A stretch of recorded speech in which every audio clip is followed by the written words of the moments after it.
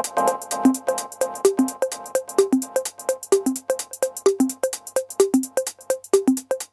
everyone, join Anderson Action for their third event coming up on the 18th and 19th. Sign a pledge to learn more about California's drought and pledge to save water. Our live is December 3rd and they're accepting artwork now. To find out information on how to submit, visit our Facebook page. Thanks, have a great week.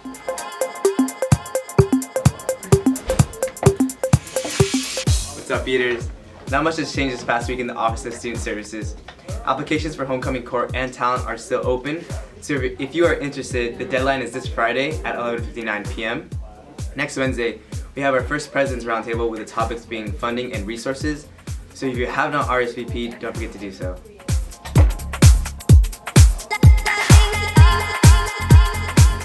Hi everyone, so last week I was actually traveling in Oakland to discuss with the University of California president and other system-wide campus presidents about the new proposed tuition increase that would be passed down from UCOP to the regents to vote on um, and discuss how this proposed tuition increase would affect students and affordability of the UC.